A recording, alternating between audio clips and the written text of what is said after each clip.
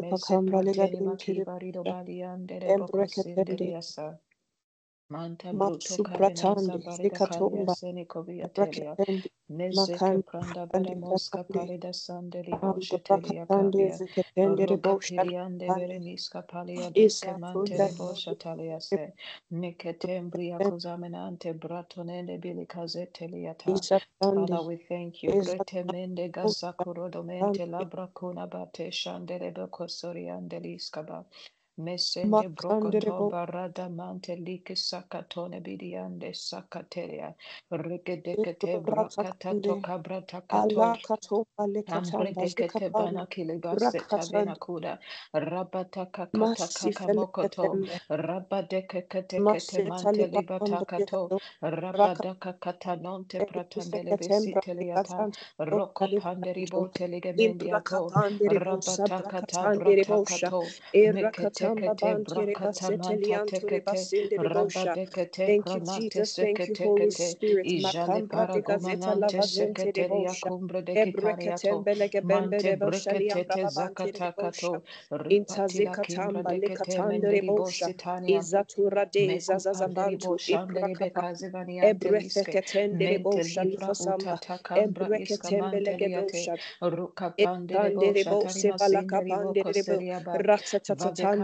Shalifakamba brancato mantelibo rakatamba lekatenderebo cabinianto. izata Rokoto brande bakumbra dekemente degedo prata nokoto embrekute brekete feketembe menketeliati. bebembe Jida imbrakota barakumanante lifatanderebo brekete kete. brasa Mekete fakatanderebo brakotom shalifazanto bredeke laminante liske imbrakatati taliota. keketembe bebenterebo sha Mazoko toko brata elufeketembe kamante deketiliato. ebrakatanerebo Mekisi arasata prata fakande mokotombra lekatande isika paranda vete Izatokatande nokotolia. livakamba Mene legado rakatando Demende meke eregedegezegembe breketekete bebentirebo azila cambra di batali shalafante cabenianto atora jeketembra de tatande camene boshulifakamba caberiamanto zombranderi etalikapande vocambre ita cambra cande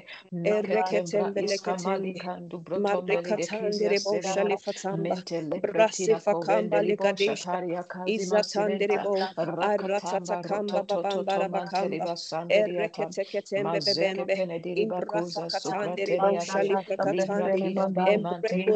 Libra in Jesus' name we pray. mantolia takabina. Amen. amen. Amen. Um, we're going to thank the Lord this morning. Um, you know, the Bible says that in all things we should give thanks, and you know, it's it's easy for us to quote that scripture and you know just say thank you, Lord, but you know, sometimes we're not. You know, it's hard to give thanks when, or would I say, it, we're not as conscious of it when we feel like, oh, I don't. What do I have to thank God for? you know as this i keep starting things and they don't end i keep you know seasons i keep getting to the point of breakthrough and then it's aborted or something you know just ridiculous things like that happen and it's like you're recycling seasons of pain and you're like i can't give thanks in this i can't but perhaps thanksgiving might be the thing that could unlock that season those those negative cycles you know just thinking about even the theme of these prayers and how you know we always there there are so many if, i spoke to every single person here i'm sure somebody can say yes i've i've started things and i was not able to finish. I, I got to the point of deliverance and breakthrough and i just couldn't quite cross over that red sea. I couldn't get to the other side. I couldn't get into the promised land. And so I'm going to give thanks today because it's who is the person that is alive that can even cross the Red Sea. It's the person that's alive that can even say, "Ah, look at me! I'm in the wilderness eating manna." It's the person. So we're going to give thanks with intentionality today. We're going to thank God because if anything, first of all, we can thank God for life. Number two, we can even thank God that we're in the right mind, right mind enough to know what we need that we that we can even open our mouths to cry out to God and say, Father, let your hand finish this. Help me strengthen my own hands, whatever it is that our request is, whatever it is that our journey has been. Whether or not we were the ones who made decisions or just wickedness, wicked people and all of that, just they came after us, whatever the situation must be, let's thank God. Because first of all, we are alive. Second, we are we are in the right mind. We can come before him we can call upon the name of Jesus and he will actually answer. We can you know, invoke that name. We can use his blood, all of these different things. We can thank God for that. We can thank God for the lessons we have learned. Thank God for his word. Thank God that we have a fellowship of believers like this to gather and pray and join our faiths together. So let's come off me right now and just say, Father, I thank you. I know I do not say this enough, but I thank you. Thank you for even the times that have looked bleak, even the things that I don't understand. I thank you for it. I thank you. Let's come off mute and begin to thank, Thank the you, Lord. Father. Father, Thank thank you, for Lord. life. Thank you, Thank you, Father, for the ways that you have kept me, even in these evil times, oh God Almighty. Even when I have not understood it, even when I have been disappointed, Lord. Father, thank you. Thank you for your mercy and your goodness have followed me all the days of my kabasokoto Father, I thank you. When I look back, I see your hand of faithfulness kabrikete through it kete all. belika Yes, even in the wilderness, you brought a kaliata. path for me. You led me. You let the Leprekete dew of the brekete heavens ketelia quench kaliana. my thirst. Father, Rokoto I thank you. kotobrendedi Father, I thank seketedina you. You have kolikoda given me an easy road Mekete that I can kete say thank you. brakadoka I can braka say that it is seketele not for the Lord who breketiato maketh me glad. rekete Oh, not the bekete enemy that breteke maketh me mourn panakata that will karito kill me. But benegade Lord, la I've come to say pradegetelia thank you. Thank you, likete my Lord and my brakatata King. kusutu Thank you, pratekete Jehovah. meno jekete Thank you. kete Thank you. brekata Thank you. kababada Maraka nekede temba leka lekete temba lega dekete duska kete vante. brekete Eka brakata tande kata reboska valante. dakatonema Embraka Zilita tomba leka kashondeli teska ipana vantaleba. kalimanta Father, I lakata thank you for the little medezeke times, brede Lord. I kebeli thank you for the little barazodambekete victories, Lord. I thank you. And Zekete even beyond. the kete ones in barada life Rika that I City, thank you. limansoto Bala, da, I da, da, thank you, Jesus. balata da, da. I kabrada thank you is sakato that like yes, it unto may leketebre have you, O come kapana back God? around kataka for Rika me, lekete that City, the belikata mercy of Bala, today may lekete speak kete hallelujah meshete and speak kepe further, oh Thank you, God, in my lekete Jesus. behalf. I will barato Father, thank you you for what from you've done lekete already. everlasting to kete I barada thank you everlasting. Da, da, da, da,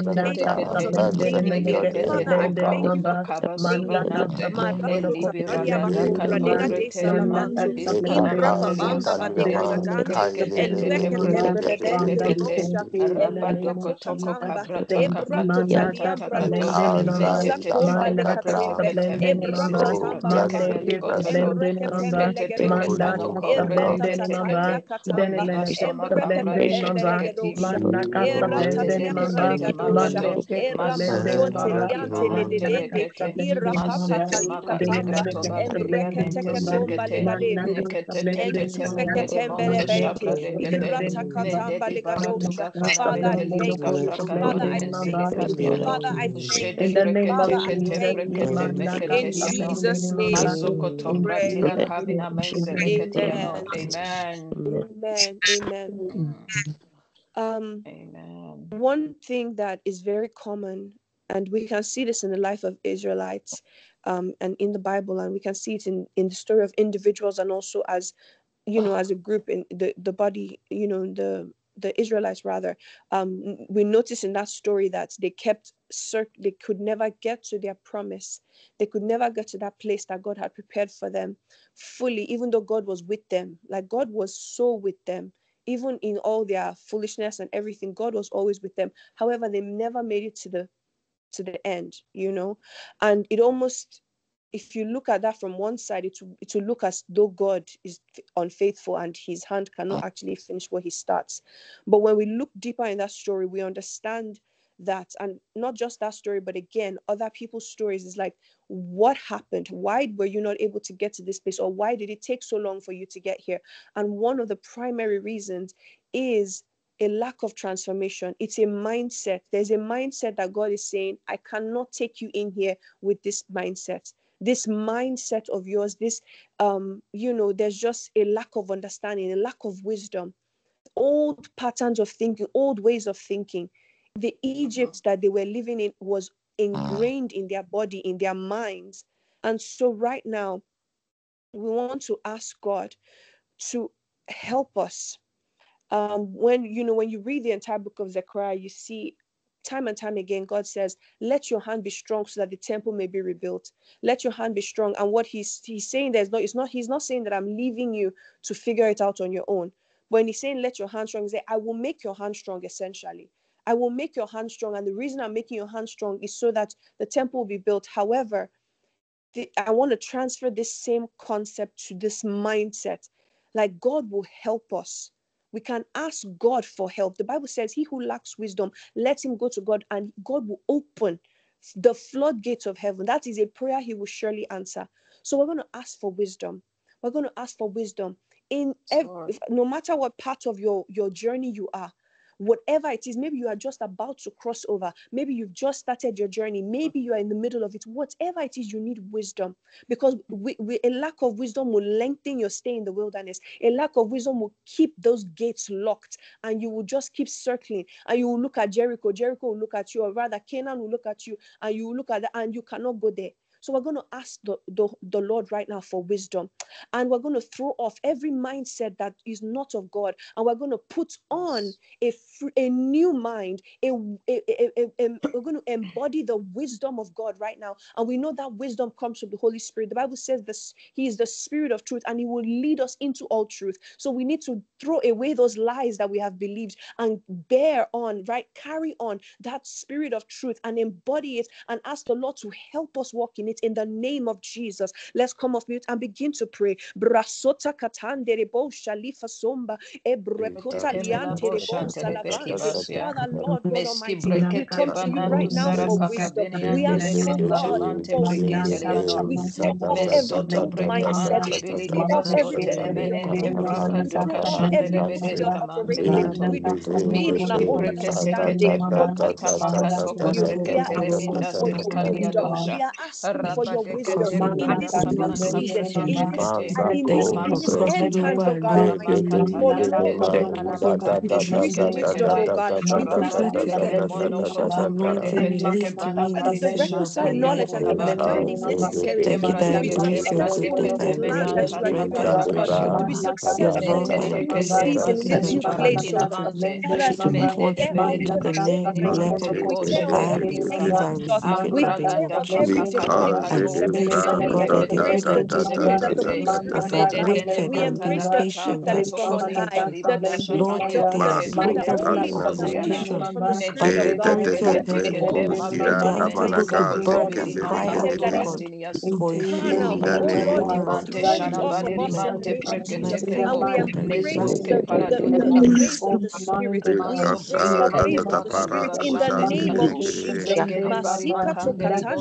Jesus. Of us And Jesus. in I the pray name for of it and I Jesus.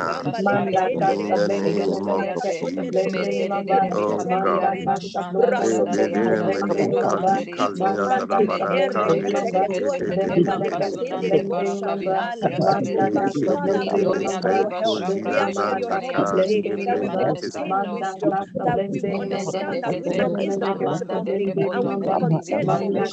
In the name of Oh kali. Father, we Ekete ask for your breko help. We zira ask for your brata help ka today that we will skebrenete obtain te. wisdom, that we will understand that wisdom is the principal thing, and we will contend for wisdom. Father, convict us. Holy Spirit, convict us when we are walking In in the foolish. name of Help us, Jesus. direct us, counsel us, order our Ekete steps in your word in the name of Jesus. Masuta katambra de gadosha. Father, we thank you. We give you the glory because you are the giver of wisdom. You are the provider of light in the name of Jesus. Amen. Amen. Amen. Amen. Thank you very much, Shade. God bless you. God bless you so much. If everyone can mute, please, um, we'll continue with the prayers. Thank you once again, Shade, and um, welcome, you know, everyone to day three of our monthly prayers. Um, I actually enjoy welcoming everyone. So that is day one, day two, day three, and I haven't had the chance to do that day one and day two. And so let me just say welcome everyone to today's prayers, um, which happens to be the last day of our monthly prayers. I also want to apologize because I cannot speak very loudly today because I'm not at home. So I ask that you please just try to listen for my voice, especially when I'm calling the prayer um, segment to an end so that we can move on to the next uh, set of prayers. So we're going to move uh, kind of quickly because there are a few things that um, the Holy Spirit will address in our midst, even as we go through the prayers. Now, um, as you all know, we take every time that we come together every month, um, very important, you know, trying to sit before God and um, understanding the direction He will have us go. And so even when Victoria harasses me with text messages back to back to back, asking me for the theme of the month, um, I will not answer until I actually have it, not because I thought it up, but because I eventually got the direction that the Holy Spirit was leading us. And so the Spirit of God um, shared this and showed me exactly where we need to labor in prayers um, as far as the prayers this month. And so um, I had seen a uh, vision of the night, and in that picture, I saw a young lady and um, she was she was crying. She was crying profusely, and the reason that she was crying was because it had sort of dawned on her that she was in a certain kind of cycle or pattern of her life that spelled stagnation clearly. And so she had called and she was crying, weeping, and asking for help and saying, she needed help. She needed to break through. She needed to get out of um, where she was trapped. And she knew that it was only going to take the hand of God. Some things had gone wrong in her life. Some things had happened in her life. Maybe some things that she had done, maybe whatever the case may have been. And so she was crying profusely and saying she now understands that where she is is stagnation and she needs a breakthrough in order to get out of there. And then I came out of it and um, I understood what the Holy Spirit was um, trying to uh, explain to us. So I'll read the verse that we have for the month, um, which is in Zechariah chapter 4 and verse 9. I'll probably read the few verses before that, just so that, you know, we get the context, even though I know many of us know this. From verse 6, it says here, it says, Then he answered and spake to me, saying, This is the word of the Lord unto Zerubbabel, saying, Not by might nor by power, but by my spirit, says the Lord of hosts. Who art thou, O great mountain? Before Zerubbabel thou shalt become a plain, and he shall bring forth the headstone thereof with shoutings, crying, Grace, grace unto it. And this is the word of the Lord to someone here this month. I don't know how long you've labored in this situation. I don't know how long you've labored in this place where it felt like you could not just get this thing across the finish line. The word of the Lord to you, regardless of what that obstacle is, regardless of what that hindrance is, the word of the Lord to you is is this Who art thou, O great mountain, before Zerubbabel, before Shade, before Mercy, before Abigail, you shall become a plain, and she shall bring forth the headstone thereof with shoutings, crying, Grace, grace unto it. Verse 8 says, Moreover, the word of the Lord came unto me, saying, The hands of Zerubbabel have laid the foundation of this house. His hands shall also finish it, and thou shalt know that the Lord of hosts hath sent me unto you. So we're going to be addressing a string of issues here on the altar today. Shania, your video is on, um, just so you know, your video is on, Shania. The word of the Lord to someone today is exactly what is captured in these verses that I've read from Zechariah 4, from verse 6 to 9. I don't know what it is in your life that feels like you've been building, you've been doing things, you've been trying your hardest, but somehow it ends up amounting to nothing. If you would capture it in one word, it's nothing. You go somewhere, but it's nowhere really, because at the end of the day, you can't tender it for anything. And we're going to be praying today because that is the thing um, that the Holy Spirit wants to address in many of our lives today. Whatever areas it is that you have been laboring in, I will address this thing in different ways. Whatever areas of your life you have been laboring in, we're going to speak right now and we're going to speak against that spirit of stagnation because it's a spirit. It's a spirit with an exact oppression. And the idea and the whole purpose of that spirit is to ensure that you never finish keeping you busy but never actually achieving anything, never actually accomplishing anything. So I want us to open our mouth in one minute and begin to pray and say, Father, I stand up in the name of Jesus and I come against every pattern of stagnation, every activity of the spirit that sponsors stagnation. I come against it, I stand against it, even as your word has said, so shall it be that that which I have started, I will finish it even by your spirit in the name of Jesus. Let's open our mouth and begin to pray. Zila diva sinimante bracande libo silia kinde misusa bricatini mando shabrande libo libo shatalia Manda sente kasta meke brondo libo loko santa sabreke ande Makonde de bre ikantaya la zabada da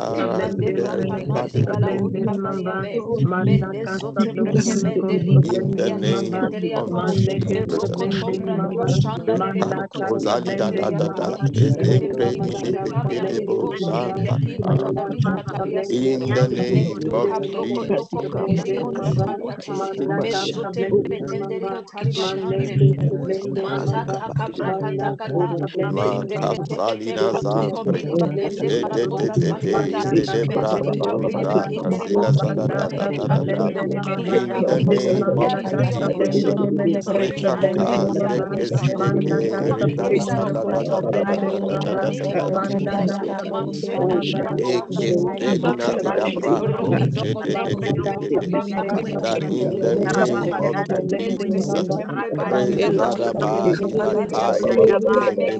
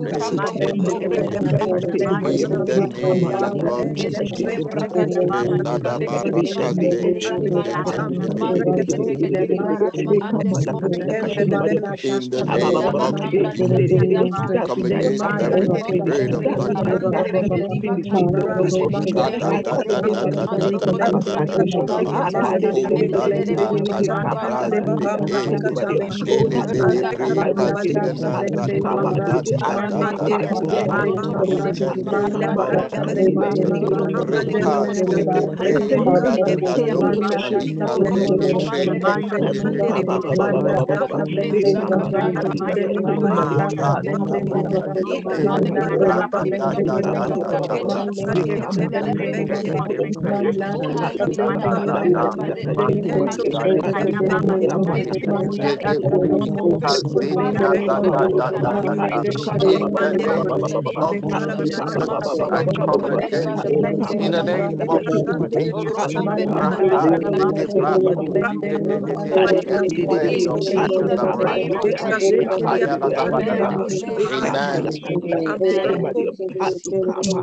Amen. Amen. Amen. Amen. Amen. Ecclesiastes chapter 10 and verse 8 says here, it says, He that diggeth a pit shall fall into it, and whoso brooketh an hedge, a serpent shall bite him. I've read the scripture for a reason because the parts I had not shared about that vision, about that uh, dream was where the young lady who was weeping was in fact attesting to the fact that she actually played a role in the circumstances that led to this stagnation that she was experiencing. Now, many times, you know, as believers, we we like we don't like to take responsibility. It's like if we can just blame it on people or if we can blame it on a spirit or something, then you know it can absolve us of responsibility.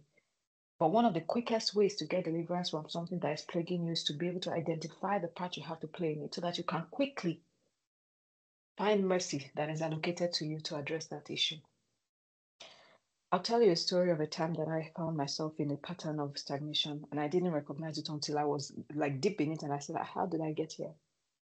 One of the first jobs I had coming, well, one of the first jobs I had ever, right? Um, without going into too much details, during my time in that job, there was a way that I conducted myself that was not, it was not optimal.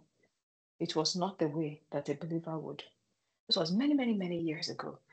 Granted, I was, you know, still kind of young, you know, you're not taking life that seriously, you don't really know much.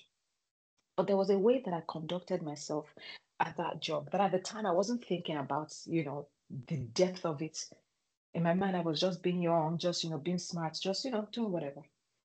And then after I had left that job, it became clear to me that indeed, you know, the truth is when you're doing something wrong, you actually know. It's just at that point, it's not, you don't realize just how, you know, serious it is. But after a while, I realized that ah, this that I did, it wasn't right. So, and naturally, I just said, you know what, Lord, you know, forgive me and all of that. The truth is, I expected to see the effect of that bad behavior in one area. So my whole mind was like, okay, maybe to be in this area that I'll see um, the effect. But then I prayed, I said, well, God has then has addressed this thing and then let it, you know, He has let it go and it's all good. Now, years later, when I was in another job, it occurred to me that I was indeed stagnated. I want to be able to say it in a fancy way, but there's no other fancy way, man. I was stagnated. Imagine being in a situation where everybody you poor came in at the same time on the same day, and everybody else has moved ahead, and you are still there. Not because you are bad, not because you are that. Just it just so happens circumstances will just find a wonderful way of aligning themselves so that you are you are you are still there. It's not as if you are creeping or, or you are crawling. No, you didn't move. Said, what is going on? And this happened to be around the same time that I started to pay closer attention to my work with God. And then I started to handle this thing in prayer. It then became clear to me what was going on. I noticed that whenever I came to like maybe a um a transition point, like a, a point between where I was like, and then I needed to move to the next place, I would see the, it was a pattern of this dream that I would see. I would see the exact same person just show up in that dream without fail every time I was at a transition point. So, for example, let's say you are trying to get a job or you're trying to get a promotion or whatnot, and just when it's like maybe a few days before that decision will be made or something like that, then you just that dream will show up. And it may not even be that this person even says anything to me or not. They will just come into the space. Maybe they will just pass me by. And once that dream will happen, it doesn't matter what kind of English I speak, it's done. Said, what kind of thing is this?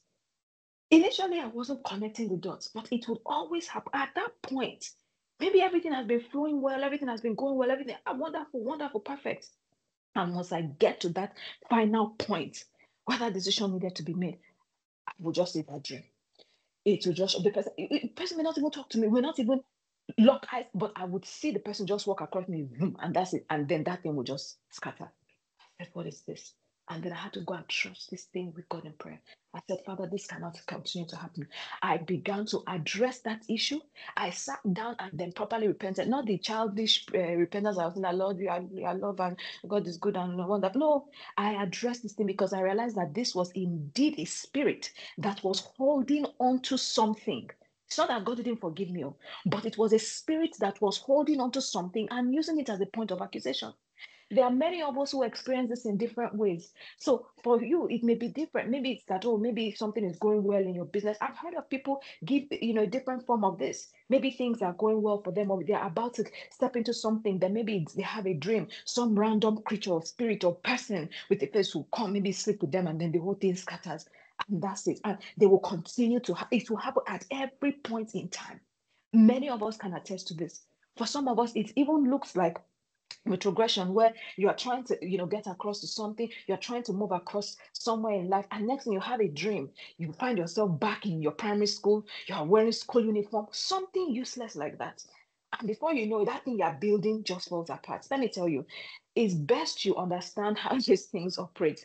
Because I told that that time I was still praying, oh Father, you are love and love is wonderful that that does not change. God is love, but I'm telling you that there are spirits that their work is to walk around looking for things they can hold on to to accuse people. And when you don't know that there is an accusation against you, you don't know how to address it. You don't even know where to begin from. You don't even know what your problems are. So you will continue to pile your papers. You will continue to give speeches. You will continue to show up in meetings, showing up in interviews. You'll be talking all the English you know. Meanwhile, there is spiritual orchestrations behind what's going on with you. That is what I want us to address today. That thing that has happened somewhere.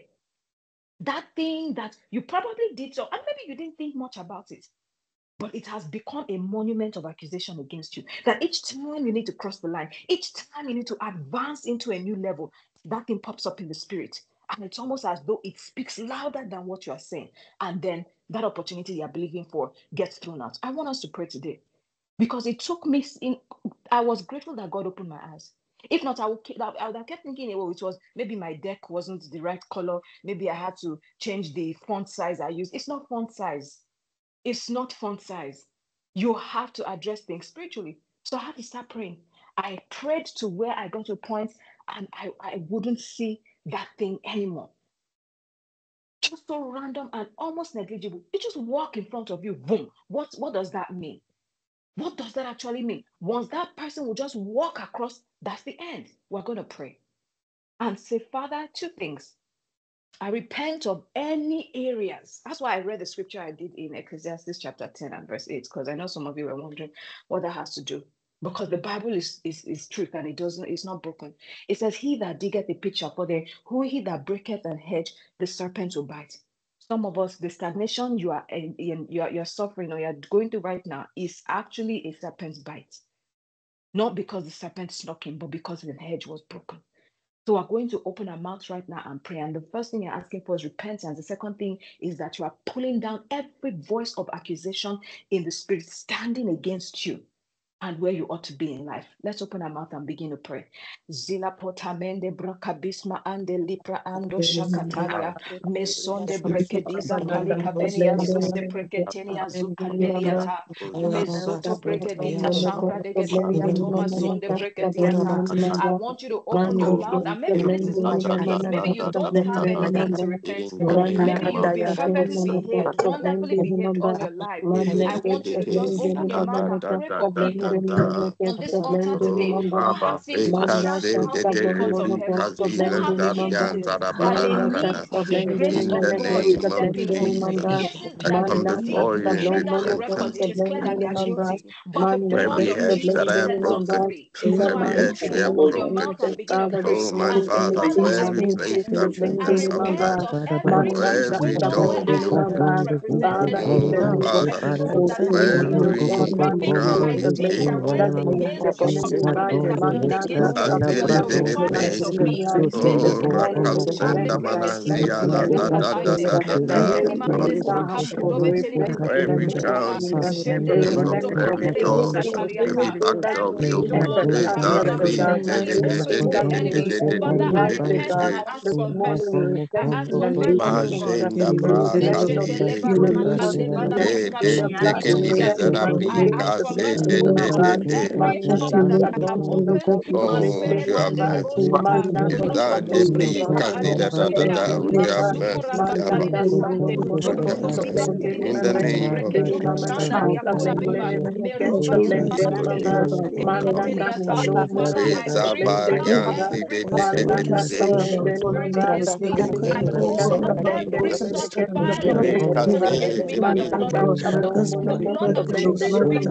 Manda. Jesus.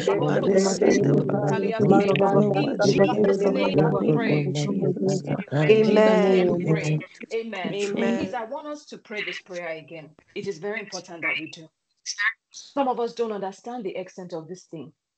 Satan can be the, the pettiest creature you will ever find, looking for the tiniest things to nail on people.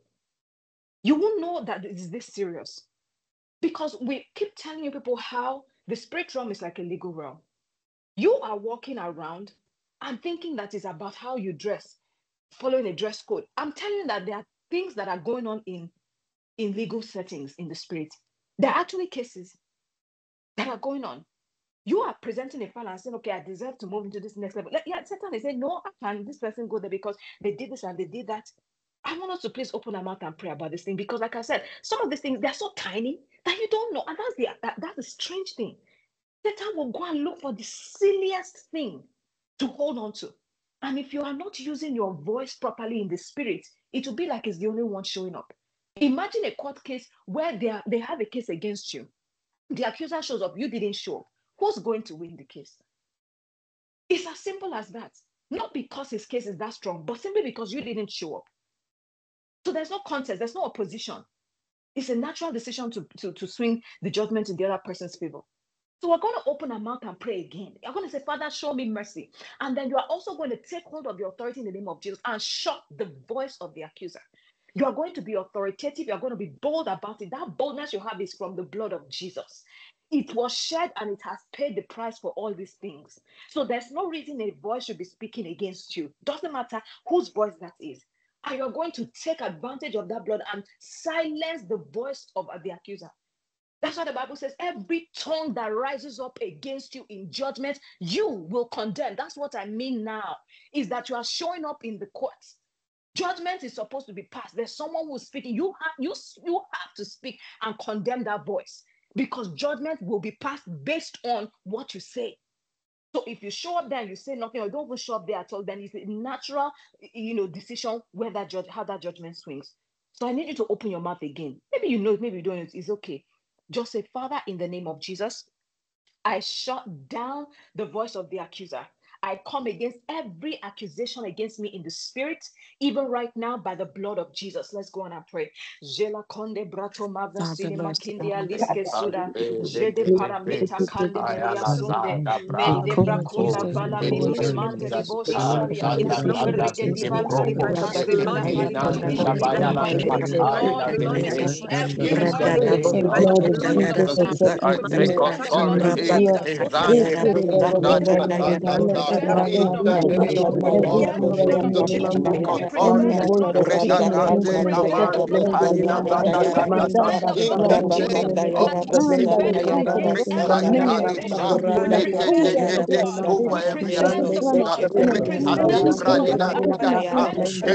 the in the name of Jesus.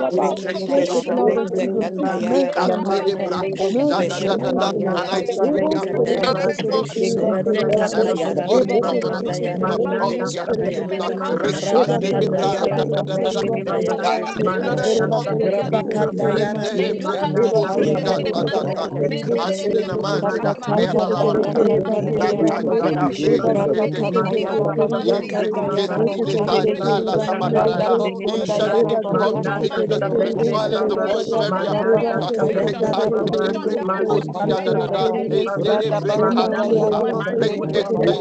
in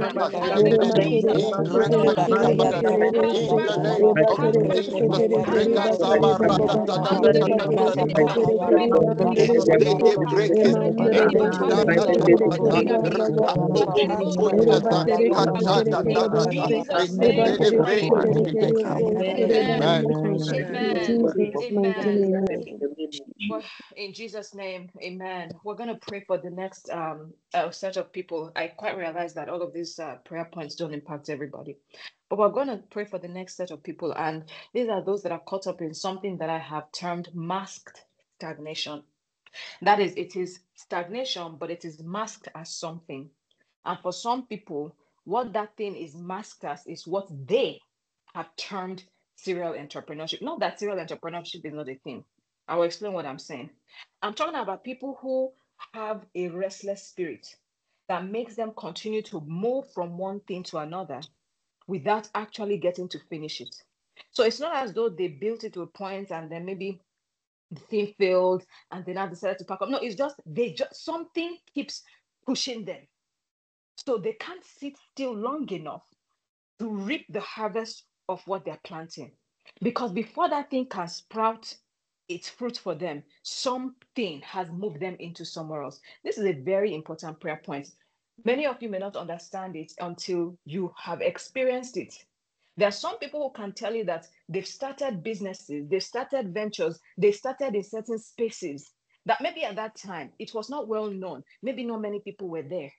And they labored in that place for a particular duration, and then something convinced them to go off and start a new venture, only for them to look back 10 years, not 10 years, one year, two years, and see that every other person who was laboring in that place where they were laboring has blown. That, is that's the best word I can use.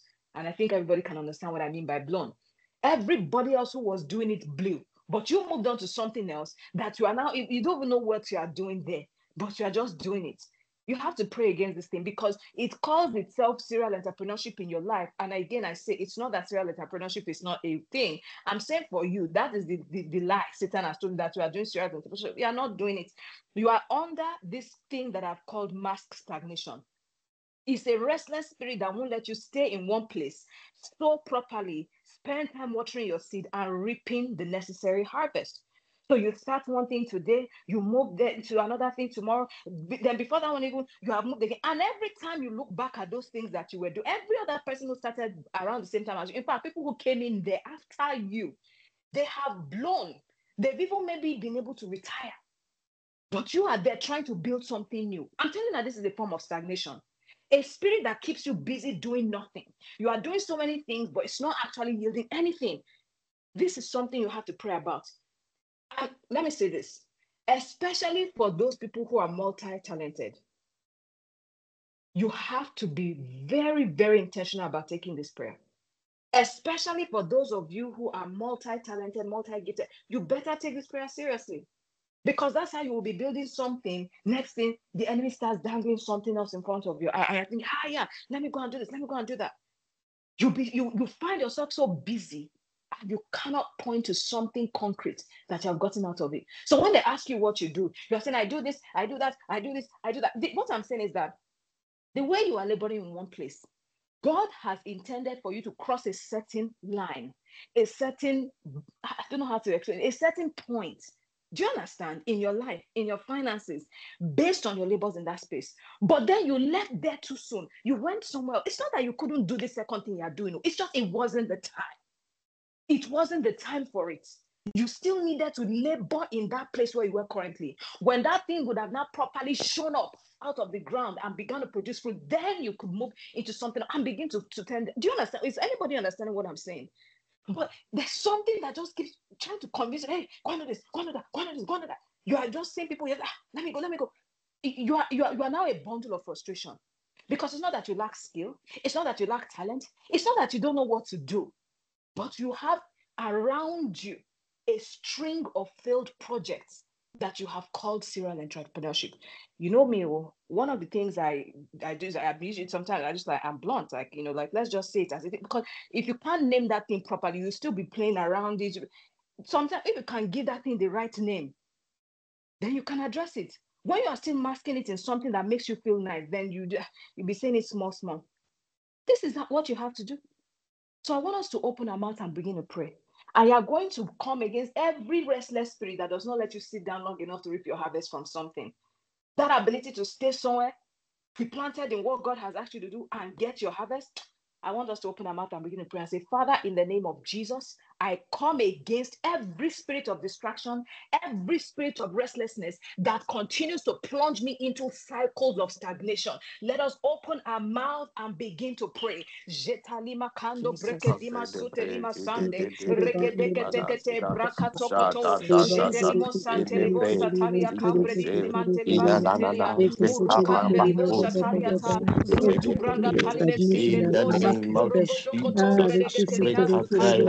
Father, positively.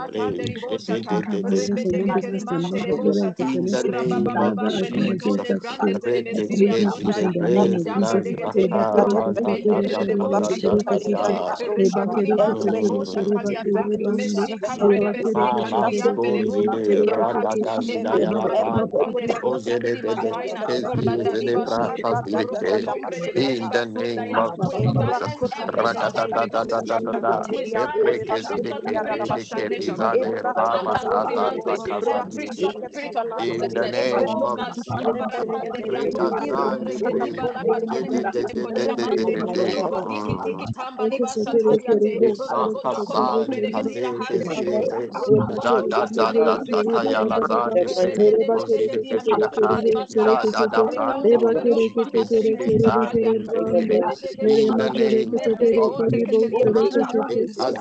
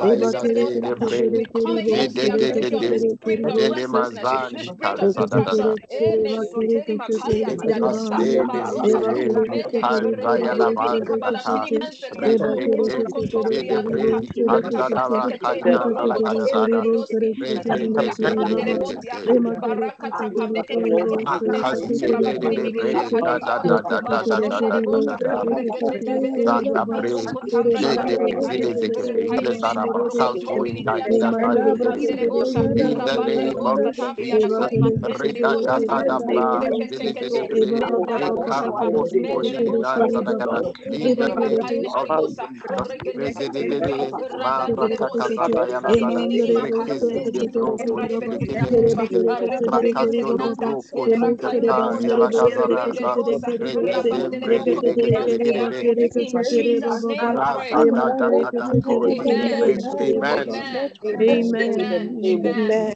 Amen. Amen. Amen. Amen. Amen. Amen. Amen. Still on this prayer point, Genesis 26 from verse 1, it says, And there was famine in the land, beside the first famine that was in the land in the days of Abraham. And Isaac went unto Abimelech, king of the Philistines, unto Gerar.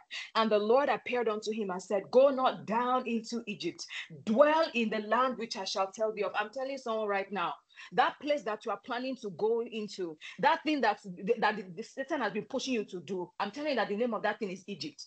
It sounds like the newest trend. It sounds like the newest thing. The name of that place is Egypt. And the instruction for you today is go not down into Egypt. Dwell in the land which I shall tell thee of. Sojourn in this land and I will be with thee. Some of us are somewhere where God has asked us to be. But because other people are doing something and it's looking fancy, it's looking flashy, it's looking, you know, glittery, you want to go there. And this is the instruction. Maybe you have been asking God so that you know what to do. And this is what God is telling you go not down into Egypt. Yes, that place is full of cucumbers, that place is full of garlics and all kinds of things. So it looks fancy, but God is telling you right now that that place is Egypt. Where you are right now looks like there's famine. It looks like there's no promise there. It looks like it's not fancy. It looks like it can't really have much to offer you. But the Lord is telling you, sojourn in that land, and I will be with thee and will bless thee. For unto thee and unto thy seed I will give all these countries, and I will perform the oath which I swear unto Abraham thy father. Jump to verse 12. It says, Then Isaac sowed in that land and received in the same year an hundredfold, and the Lord blessed him.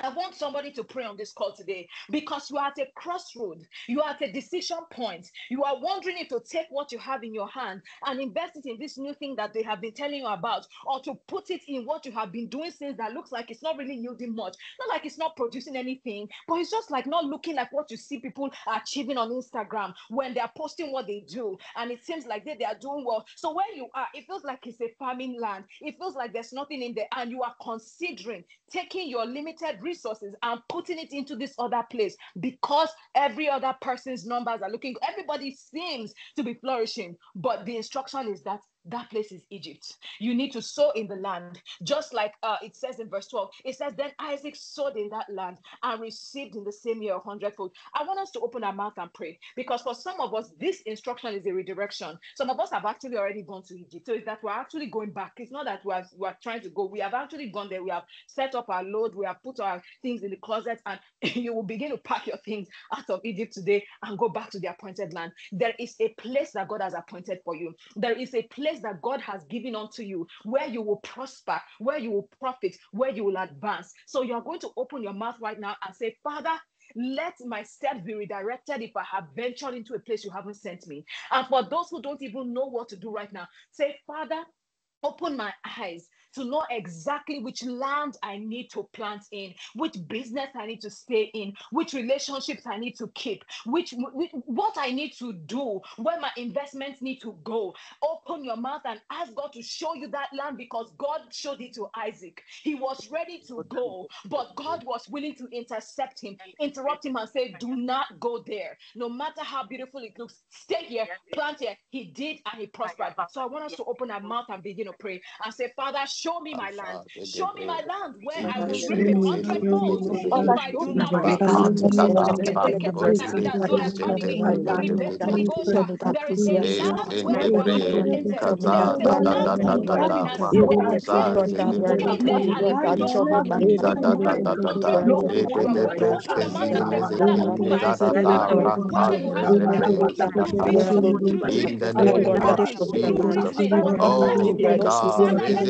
There is a land where I will not be in the name of Jesus. Oh God, visit it, pray, Basilica, in the name of Jesus.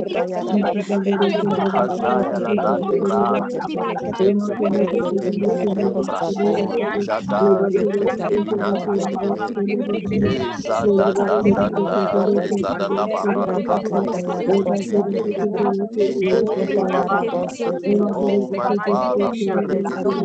Eza da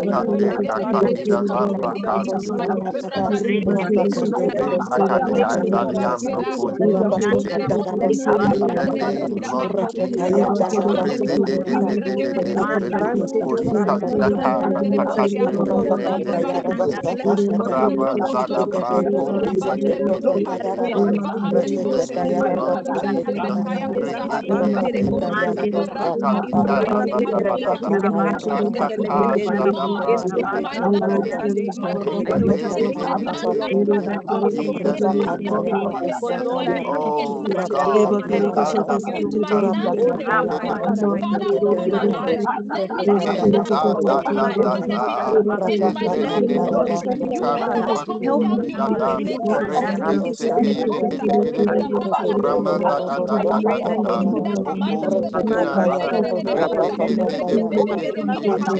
da, Eza da da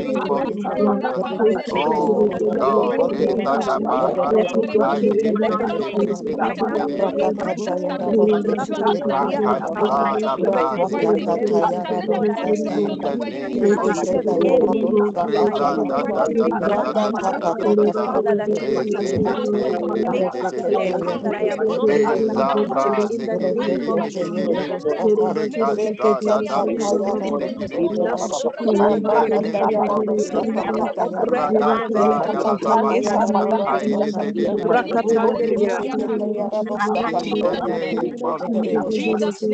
pray. Amen. Amen. Amen.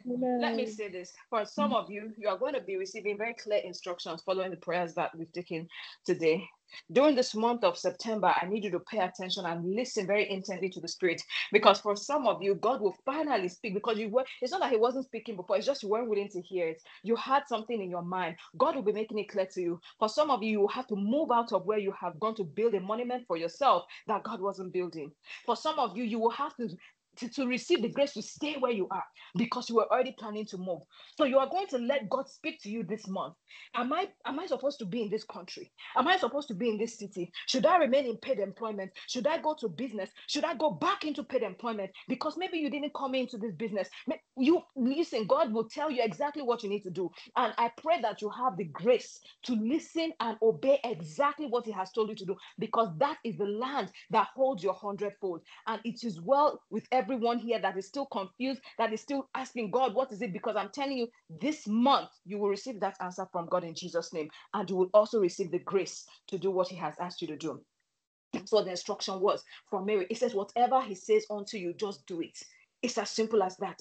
So this month you will receive your instruction in the name of Jesus. I want to take the next prayer. This is from Proverbs chapter um, 22 and 28 to 29 very quick prayer, but we're going to take two prayer points out of this. So this is a part of scripture that I've read a few times, but I never really like looked at these verses together. It says here, it says, remove not the ancient landmark which thy fathers have set. The next verse says, Seest thou a man diligent in his business? He shall stand before kings. He shall not stand before mean men.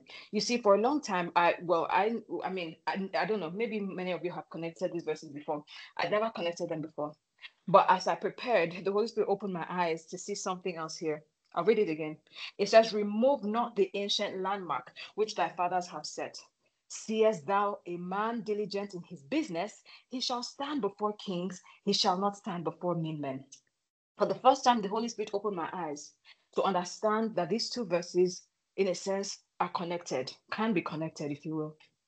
There is what is called the ancient landmarks. And for this situation that we're talking about, we're talking about the standard, the bar, if you will. John, is this making sense? The bar.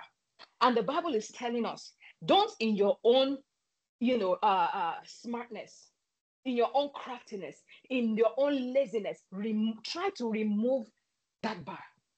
That's why it then said in the next verse, said, if you see a man who is diligent in his ways, will he not stand before king? That is, this is the bar. The bar is diligence. That is it. The bar is diligence. So he said, do not remove the ancient landmarks.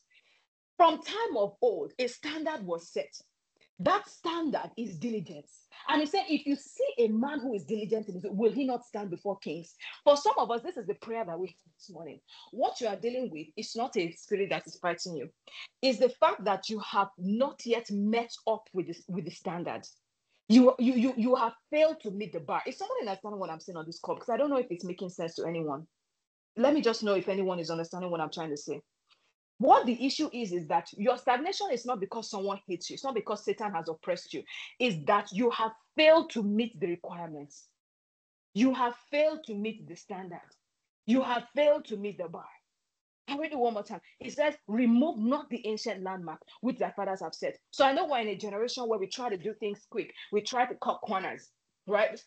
Someone gives you a project, someone gives you a contract. That contract should be worth, you know, I don't know, 50,000 hours. Maybe that's the, the price of it.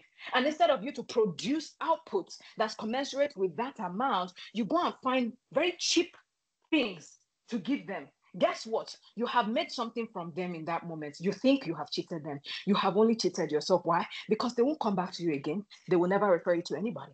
And that's it. And you will continue to cry and pray on the altar for the grace to come out of stagnation. But the stagnation you experience is not because the Spirit has pursued you, it's because you have failed to meet the bar. You have failed to meet the standard. Because the Bible says, if you see a man who is diligent in his ways, he will stand before kings. That is the bar. So we're going to pray because this is where some of us need help. Is the grace to actually give ourselves to the requirements of greatness, the requirements of success. There is a bar there is a landmark. Another translation says it's a boundary line. Like this is the line, this is the cutoff. And some of us, we have barely gotten there. We are okay with doing the bare minimum. If we can just give something, let, let them just take it and leave me alone. But the Bible is letting us know that there is a mark. And if you miss the mark, your life will show. If you miss the mark, you will wonder why other people are catering to kings and you are catering to people, to peasants. It's saying that there is a mark for some of us, this doesn't even have anything to do with our business. It has something to do with your walk with God. It has something to do with your calling. There is a mark. There is a level of diligence. There's a level of, of, of time you give to the study of the word. There's a, an amount of time you give to prayer. There's amount of fasting that's required. There's consecrations that you should be giving yourself to. The Bible is telling us that don't get smart in your own sense and choose to move the line back. You will be only deceiving yourself because that line has been set. And if you cannot meet that mark, you will lag behind in life you will lag behind in your calling. You will lag behind in your career. You lag behind in any of those areas. So we're going to open our mouth and ask God for grace. Because for some of us, we don't realize that this is the thing that is affecting us. We're so focused on the short term. We're so focused on what we're doing right now, and we lose out in life because of this. We're going to open our mouth and pray because may it not be said that we are the ones shutting the doors that God opens for us. God will open a door for you. You step into that place. You do the most super thing ever. And people just have to make a decision and say, okay, you know what, that's it. We're not working with this person anymore. You're going to pray because many of well, the time, some of us are not even doing it on purpose. We are just going based off of what we've seen others do. Maybe where we were raised, maybe where we were trained, that's what we saw people do. So we don't know better, and that's exactly what we're giving to, to, to in this new place that God has set us. So we're going to open our mouth and pray and say, Father, grant me the grace to give myself to what is required to hit that mark, to achieve success. With success, with greatness, there is a bar, there's a requirement. That's what you're asking God for. I don't know exactly what this bar is, or maybe you actually do, but you've never thought to actually put yourself in a place where you could give it. You're going to say, Father, help me, give me the grace, give me the discipline, give me the presence of mind, whatever it is that you need to meet the standard, to meet the mark, so that that thing that you have showed me that has been allocated to my life can actually be seen, that I can actually eat that the fruit of that thing. Let's open our mouth and begin to pray. Mese kaliba shande brokotombe lis sabrokonda la bismantele bosi kandeli asata rokodoko to brandele bosh mahande oske halibasaya regadiba patamondo breketi besi diske parido shandaya regedeke telmanse ligete biato libranda benemente libroka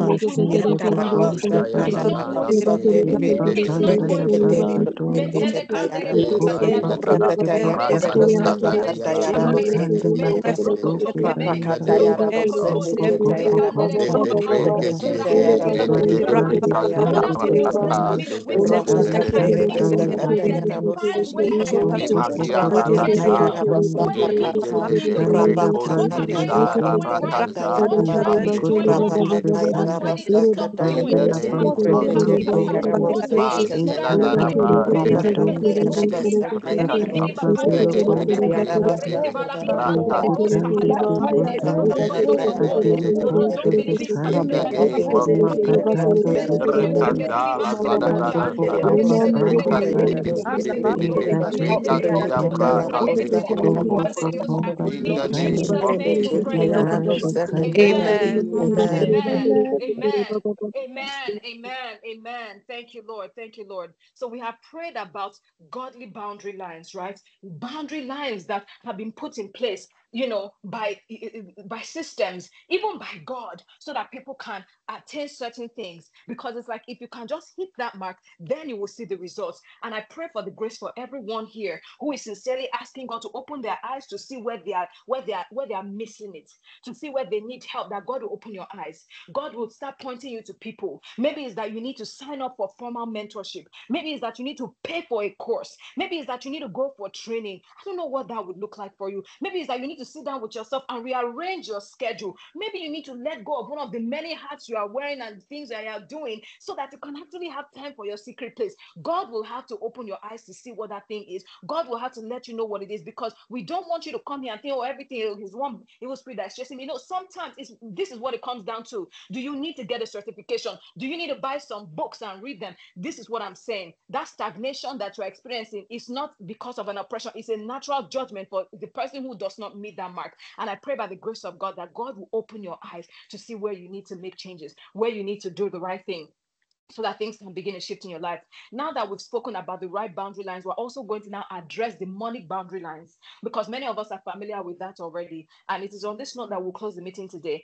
We're going to pray about demonic boundary lines because for some of us, indeed, that ancient landmark that the father said, those are the exact landmarks that we need to remove. Some of us come from families where boundary lines were drawn. They were drawn to fence people in, not to cause people to advance. They were drawn by people who came into agreement with spirits, where in order to get one thing, they paid with another thing. And so that other thing that they paid with, a boundary line has been drawn because of XYZ. Nobody from this family can go beyond that. Nobody from that family can go beyond that. So that thing that you're experiencing in the form of stagnation is that you only go so far. It's like when you put a leash on, a, on an animal, a dog, or whatever animal you put a leash on, and that animal goes, let's just say this, you tie like a um a a, uh, a goat to like a tree or something, and it's like however far that that goat decides it wants to go, it can only go so far, but that rope will come to an end. You understand what I'm saying? For some of us, we come from those kinds of backgrounds, those kinds of, kind of families where transactions have been made, agreements have been put in place, covenants have been enacted, okay, such that they have put demonic boundary lines in those families. So you can only go so far. So that's why when you do your best, you hit a peak in this particular stream, in this particular business, it goes nowhere. Then you find need to go and start something else. And it's like even if you start a hundred of them, you will never actually pass that line. Why? Because an agreement was put in place. Right now, we are actually going to be pulling down those boundaries.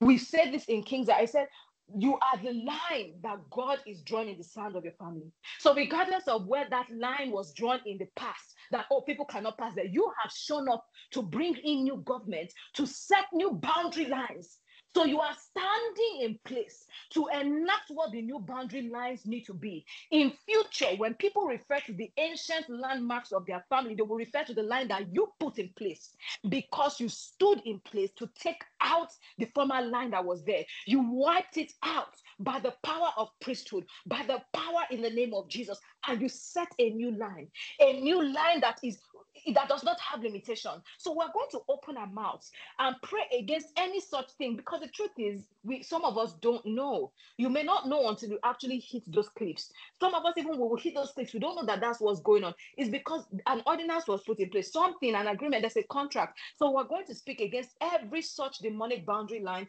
that exists in our family that have been designed to fence people in. I actually saw it very briefly as the prayers were about to start, where Shade was still leading out. I saw it very, very, very, very clearly.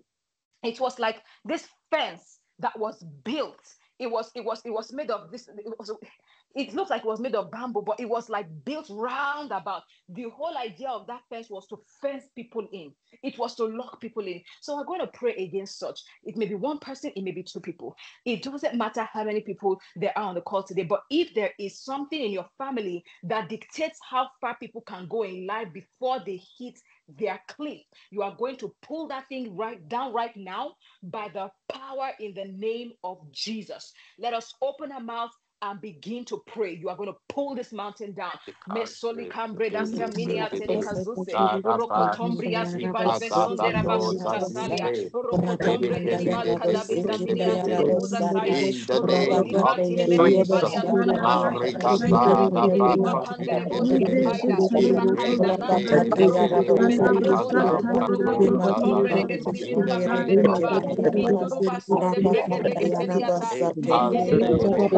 Mesoli cambreda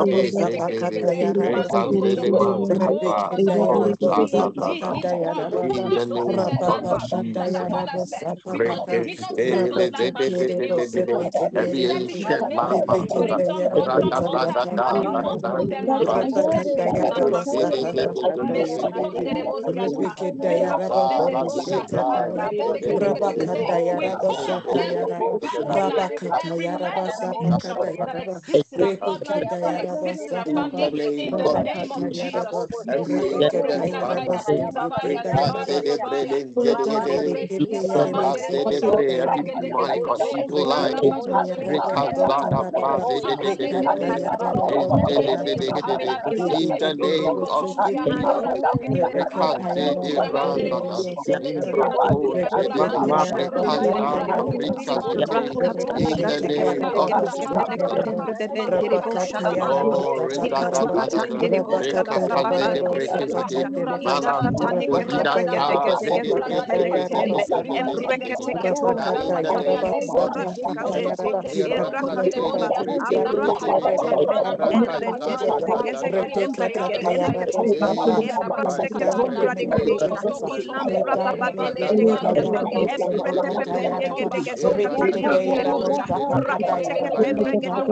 de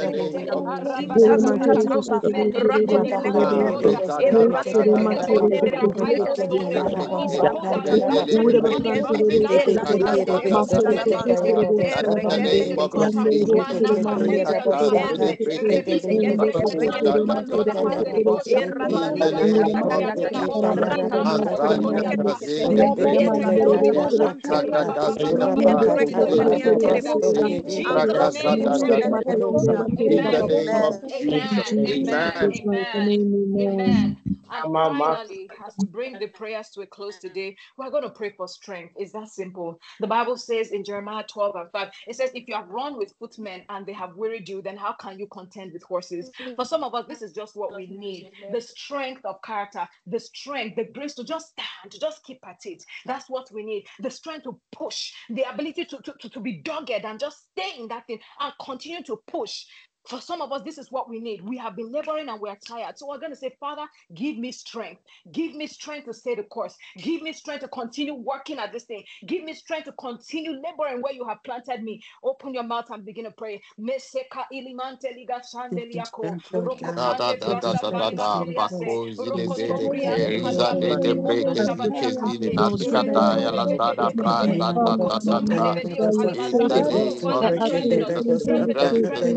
Amen.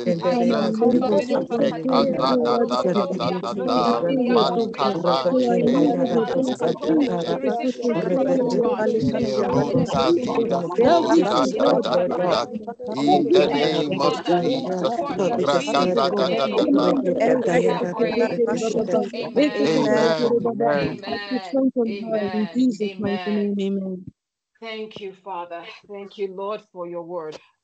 Thank you because even as you have spoken to us, we have prayed in line with your word. We have prayed in accordance with that which you've spoken to us. And so I ask that, Father, in this month of September, let it be a month of realignment for many. Let it be a month of clarity for many. For those who are still struggling to understand where God will have them put their labors. For those who are still struggling to understand where God will have them spend their time. Father, I ask that this month be a month of clarity. For those of us who have somehow wandered into the wrong field, Lord, let this be a month of realignment. Make it clear to us where we ought to be. And we ask that you give us the grace to also move in line uh, with your instructions. Lord, I also speak over those who have suffered stagnation because of an accuser, because of the accuser of the brethren, even as the Bible tells us, the accuser of the brethren that has been consistently with, withstanding them, standing against them, resisting them. Father, I ask that every such accusation is broken right now in the name of Jesus. We tender the blood of Jesus even as our defense in Jesus' name. For everyone here who has the accuser speaking against them, Lord, we speak by the name of Christ. We speak by the name of Jesus and say that that accusation is pulled down right now in the name of Jesus. Even as we have repented and we have appropriated the blood, I decree that everyone whose stagnation was sponsored by this phenomenon, Father, that stagnation comes to an end today in the name of Jesus. I also speak over everyone here in the month of September. There will be an influx of testimonies, an influx of testimonies. Some people, this is the finishing month for them, even as this is the ninth month.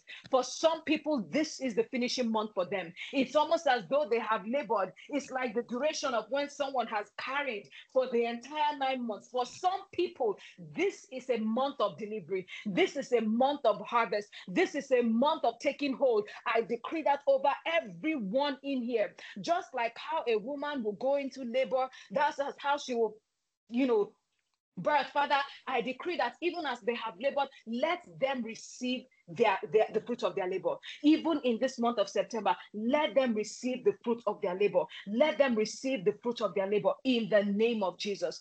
Thank you, Father. I feel the need to speak over someone here specifically. I don't know who you are. I want you to understand that you have been carrying something. You have been carrying something for a long time. You have been tending to that thing. Some days it has meant that you cried. For some days it meant that you were just quiet because you wanted to throw in the towel. You wanted to give up. But I speak to you and I speak over you, even in this month of September, that in this month you will take delivery of that which you have been tending to. The time has been fulfilled, the time has been completed, the cycle has been completed. And in this month, you will take delivery of that which you have been tending to. That thing that the Spirit of God handed to you and you have been nurturing, you have been nurturing, you have been holding and just taking care of it, even when it wasn't convenient. In this month, you will take delivery of that thing in the name of Jesus. Thank you, Father. For in Jesus' name we have prayed. Amen, amen, amen. Thank you, everyone, for logging on for the three days. God bless you. And for those who are in Abuja, we will see on Thursday or Friday, depending on which day we see. God bless you. But yes, for those in Abuja, please, please, please, Friday, let us all be present at the venue. Those who are not in Abuja, you can log on online and you shall be blessed in the name of Jesus. God bless you. Friday, Saturday, Sunday, actually, because the tribe has their program on Saturday and Sunday. And I know many of us are part of the tribe as well. So I look forward to seeing you all. Bye, everyone. God bless you.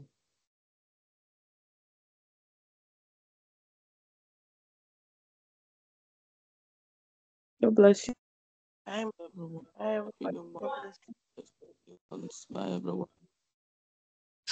Thank you. God bless you.